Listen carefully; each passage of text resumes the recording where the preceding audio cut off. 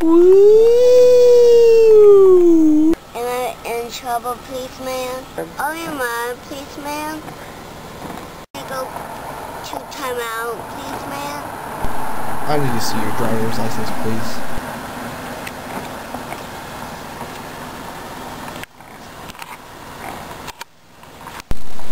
You see, the problem is here that you don't really look like you're 29. I think this is fake. You going to tell my daddy?